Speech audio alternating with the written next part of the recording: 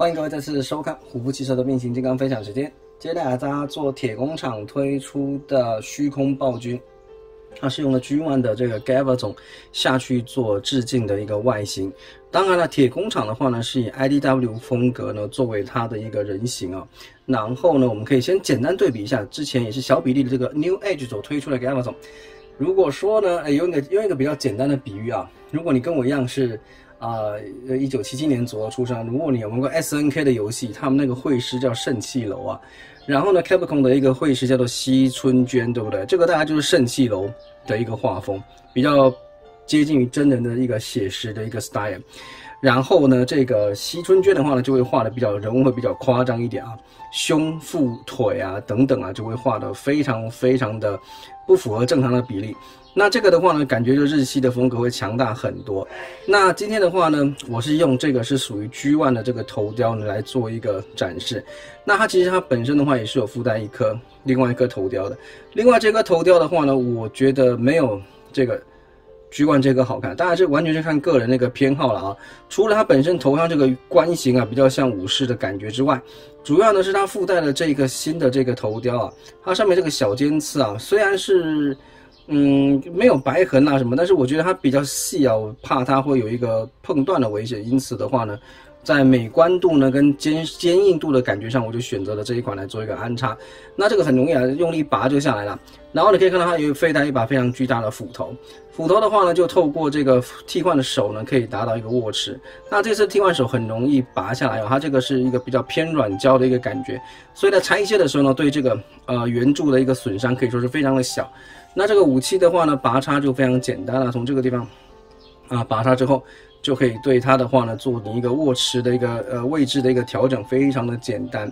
那另外还附带了几个替换的手啊，比方说这个手掌啊，比方说这个手掌，我们就把它换成这个手掌，那扣上去非常的简单啊。那因为是一个球关，所以你就可以自然的做一个转动了啊。然后呢，就暂时的以这个形象给各位做一个人形的一个分享。它手掌的比例非常的大啊，这个是我很喜欢的一个感觉。那除了这些配件之外呢，它还有一个肩甲，还有多了一块肩甲的这个配件。那这个肩甲的配件呢是怎么回事呢？它这里啊多了一个圈。那你可以看到它其实是要扣在右手的。它这个肩甲的话，你稍微往侧边扭一下，它就可以把它的给拿下来。后面有一个洞，那我们就把它的。这个做一个简单的替换，它的目的其实也很简单了啊，就是让我们把这个大炮的话呢，多另外一处可以做一个安插在这里，把它给扣上去。好，安插上去之后，我们把这个手炮啊给拿下来，然后呢这个地方推过去，然后呢我们把它给扣在这个这个地方，这里。你会觉得说怎么会有这么奇怪的想法，对不对？但其实呢，它就是这么的奇怪啊。这个做个简单的给各位看一下，到这边好，它这个的话呢，算是致敬一个什么 G One 还是什么样的一个炮手的一个展示啊。我也只能说，嗯，好吧，反正你不喜欢，那就把它给拆掉。我我是觉得蛮。蛮蛮激乐的啦，可能有人会喜欢，那没关系吧，反正就是就就就如同我说的啊，那它扣的时候就是后面有一个凸，跟这个臂甲上面的这个把它扣上，好的，然后呢可以把它推高一点点，然后再一次的呢把我们这个大炮给扣回去。那这个大炮的话呢，这个地方如果你不好不好抠出来，你可以先把它整个拆掉，然后从这个地方推，再把它给扣回去，这可能是比较省力的一个。组合的一个方式啊，这个地方推到底，把它给扣上。那铁工厂的玩具呢，向来是以关节偏紧作为一个特点，但是我这一款拿到的时候呢，它的一个四个球关一二三四，居然都是比较偏松的，所以呢，反过来以往我都要上稀有，但这一次我居然要给它上快感，增加它一点的一个强韧的一个感觉啊，蛮意蛮意外的。以及呢，它的后面这一块部件，这一块部件。和会跟说明书的话呢是这个形象，但是我初拿到的时候它是装反的，它是这样子反反装的。那如果反装的话呢，它的一个跟说明书和会上面不一样之外，在变形的时候呢，理论上这个履带应该最后变成炮的时候是要着地的。它这个地方明显是一个履带的造型，所以呢，我就把这个插栓把它敲掉，我把它重新装反过来。那我以为是不是我这一款的一个问题？结果我上 YouTube 呢去看了另外一个老外的开箱影片，我发现他的这一块也是装反的。所以呢，各位在拿到大货的时候呢，各位自己再留意一下，你不把它反装了，它一样可以完成变形。只是这个履带的话呢，到时候会跟这个其他两个履带呢没有在同一个边，感觉是比较奇怪了啊。那我们就来看一下它的一个可动，顺便展示它的细节。头雕很好看啊，球形关节，手臂三到零度的转动。也是没有问题的。后面的话呢，这块部件呢，做个简单的调整就可以了。手臂的话呢，二头肌一样可以转动在这边，但是这一块啊，干涉比较大啊。手手掌可以转弯，腰身也是可以动的，而且有个往前低头看的一个感觉。你看，可以看自己雄伟的裆部啊。顺顺便提一下，这个家伙呢，你在变形的时候呢，如果你忘了忘了把这个腰部旋转一百八十度的话呢，你会发现呢，哎，看起来好像没有什么两样哦。对，很容易你会忘了把腰。给转过来，导致它的前面跟后面看起来是没什么两样，这对一个男人来讲是非常大的耻辱。前面后面看起来是没什么两样。那脚的话往前侧踢没有问题，有一点点的一个接地的一个关节。然后他身上的话呢，所有的倒角的处理来讲的话呢，基本上是 OK 的。但是呢，有几处是真的造型比较尖的，你就自己要去留意一下。然后呢，这个地方啊是比较松一点，有时候你手臂要转动的时候呢，它的一个卡扣呢，我觉得卡的不是非常的紧。我再研究一下怎么样把它这个地方给弄弄弄得紧实一点点。以人物的一个身体的一个线条啊造型来讲的话呢，可以说可以说是非常合我口味啊，很有超级系机器人的一个感觉，非常非常的好看。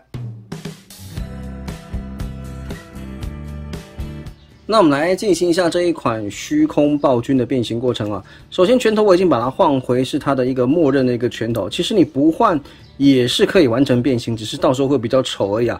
把这个炮的话呢，做个简单的小变形之后，我们呢先来完成它的一个下半身好了。首先的话呢，给它腰转一百八十度，转过来之后呢，我们看到这一侧啊，看到这一侧，我们把这个腿的话呢往外翻出去，然后呢把这个部件呢做一个打开，简单的一个翻开。这里的话，利用这个白色这个部件的一个松动关节，把它给转上来。这里也是一样的啊，透过这里把它给转上来。然后的话，你可以看到这个地方内部啊有一个洞，旁边有紫色的一个凸啊。这个到时候的话呢，我们要扣上去的。然后呢，手臂啊先把它往上转一点点啊，这个是方便我们做一个变形。我们把脚呢给往上面推上去。那紫色的这个部件呢，可以先扣进去。然后呢，这注意啊，扣进去之后的话呢，我们这一块。这一块凸啊，是待会是还要留着做结合用的啊，所以的话呢，先不用把脚呢推到一个最短，你先一个比较顺手的一个状况下，紫色的两个凸先扣进去之后，我们把这个部件呢给翻折出来，到这边，这里这个翻折的话呢，有时候稍微要练习一下，到这里，先把它们两个挨到一块，然后呢，只要能够扣进去一点点之后，好，然后呢就可以用力的把它往中间。做一个挤压，好了，整个的把它给扣进去了啊。那如果说呢，你整个扣进去之后的话呢，再变形成人的时候呢，往外拔出来呢是是需要用一点力气啊。在这边先给各位提醒一下就行了。然后呢，把这一块部件把这里推出来，到这边也是一样的，到这里先暂时到这边告一个段落。待会儿的话呢，啊这边这两个洞要来扣这两个凸，所以我们现在就在进行这个部分的一个变形，整个翻出来。然后呢，这个骨架龙整个脊髓拔出来，你看到没有？这个地方它本来是这个样子，我们拔出来的时候呢，这里会出现第一个直角，在这个地方拔出来之后，这里会出现第一个直角，然后这个地方头要推这样子到这边，变成是一个 L 型出来，然后呢头的话呢翻出来，翻折一百八十度，然后呢将它给收进去。不管是哪一个头雕都可以顺利收进去，因为它这里的话呢，其实也不用说收到非常的密合，其实它只是把它藏起来而已，到这里就行了。好，然后呢，我们这个时候呢，把这一块部件往下面压下来啊，从这里往下压下来，跟这两个这里两个凸跟凹跟它做一个简单的一个合并，非常非常简单的一个合并，将它给扣上。这样一来的话呢，两腿呢。跟这个枝杆呢，就完成了一个它的一个固定了。然后呢，这个顶部这个地方造型当然是要反起来了。裙角到这边也就好了，都不要管它了，不要管它了。然后这个部件，把这个脚应该是这样子。好，腿这样。再来，我们就进行一个最后一个，听好，我你没有讲，没有没有听懂，但是已经到最后一个步骤了啊。我们透过这个地方转轴，以这个地方这个转轴。把它整个转下来。我告诉你，看看说明书这个地方你会看得非常的痛苦啊，因为你实在是看不懂它那些线稿是画什么。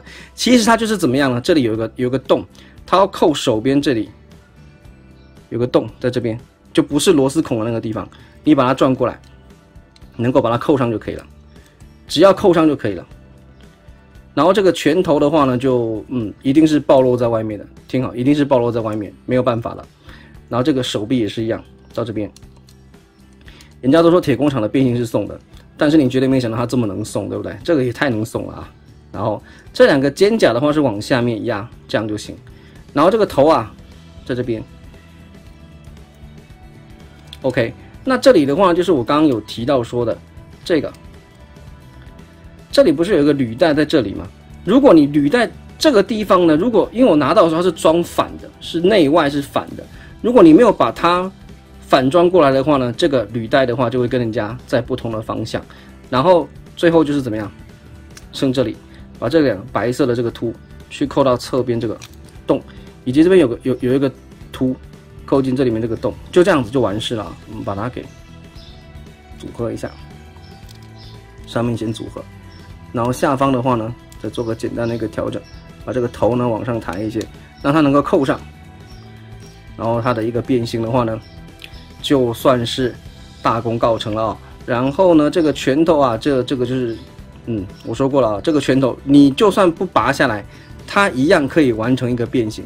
但是呢，就是会，如果你摆个手掌啊什么的，就是会有更更加的显眼。这个拳头已经是相对来讲比较。比较比较没有那么显眼的一个一个一个装置了啊，那么呢，这个就是我们这一次这个虚空暴君 从机器人到一个外星大炮的一个变形过程。我们见到这款虚空暴君的载具吧，这个一个外星的大炮啊。啊，后面应该是这样子变吧，反正就本来铁工厂的变形的话呢，已经是送了，但是这一次真的是送到也是太天马行空了。不过我们可以勉强想说吧，反正它就是一个外星的一个一个一个火炮吧啊，造型奇怪，我们也就不不是特别很在意了。但是它的一体性很好啊，你在这个地方，你你看它所有的卡扣是扣的非常到位的，啊，两腿中间这个地方有并上。然后两手的话呢，跟这个腿这个地方只要组合上去，这一根过来之后，把两腿也夹住之后啊，变形就算 OK。唯一比较难理解，可能就是看说明书比较难理解，可能就是这个中间这个脊椎脊髓抽出来之后，以及头部的这个根部有个地方要做一个翻转，藏到身体里头去。那里头其实还很空啊，所以我说两个头雕啊，怎么样换呢，都可以去把它完成进行一个收纳。前面有一个这个透明的部件啊，在这个玩具身上的话很很显眼。看着也好看，这个反光其实其实很不赖的。然后这个地方啊，记得要把它翻起来，然后就是这样拎着，这个火炮就算 OK 了啊。这个呢可以啊瞬间绝杀掉我们这款的 这个 Star Star Screen 的这个一个火炮吧。Anyway，就铁工厂的一贯的一个玩具的一个表现了啊啊载具的话呢，就这个载具其实是看你喜欢或不喜欢，其实看久了还觉得还蛮好看的，特别是这一块部件。啊，用了一个透明部件，其实它很漂亮啊，非常非常的好看，还蛮耐看的。那变形就是也算简单，那最帅的还是它一个人形了，非常非常的霸气，很好看。那整个玩具的关节呢，居然是比较偏松一点点啊，这点让我有点匪夷所思。但是球形关节的加固也是比较简单的啊。那今天的话呢，就跟各位分享这一款铁工厂推出的第四七号产品——虚空暴君。谢谢各位的收看，我们下期再见，拜拜。